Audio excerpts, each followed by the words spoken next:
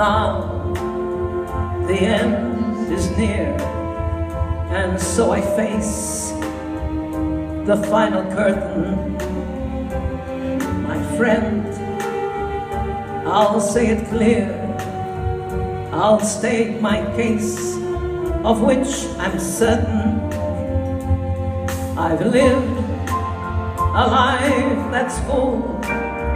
I've traveled each and every highway, but more, much more than this, I did it my way. Regrets?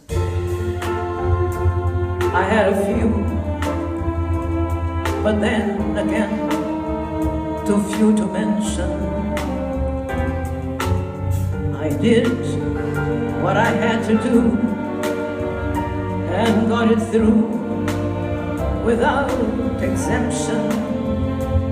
I planned each charted course, each careful step along the byway.